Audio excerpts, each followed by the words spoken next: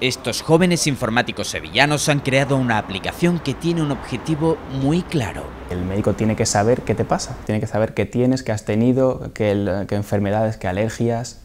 Y eso, independientemente de la clínica privada o de la comunidad autónoma donde el paciente sea atendido. Pretenden así poner fin a la descentralización del historial clínico. Los datos pasan a estar en la nube, de forma segura y siempre a disposición del paciente y del facultativo que solicite acceder en caso de emergencia.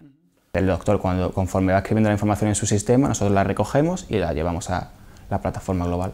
La clínica tiene su sistema de gestión para controlar sus historiales, pero de forma independiente, por debajo puede conectarse con nosotros para darle al paciente toda la información. Si, por ejemplo, te acaba de hacer una radiografía, el resultado no tienes por qué ir a por ella al médico, directamente la puedes ver a través de la aplicación si el médico la ha subido. La aplicación, disponible también en móvil, será gratuita para el usuario. Sus creadores, que cuentan con el apoyo de la Fundación Cajasol y Andalucía Emprende, negocian su implantación con instituciones sanitarias de Madrid y de Murcia.